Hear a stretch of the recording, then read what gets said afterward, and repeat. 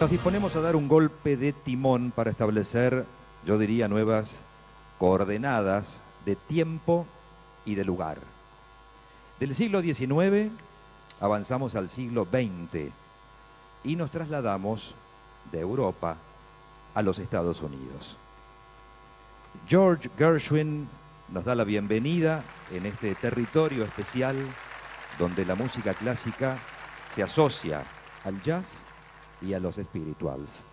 Recibimos entonces ahora al solista, al pianista, Ernesto Jodos, joven pianista argentino consagrado local e internacionalmente.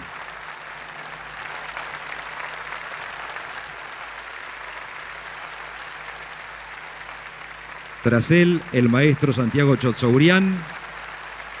Y presten ustedes atención, porque hay en escena algunos instrumentos no habituales en la orquesta.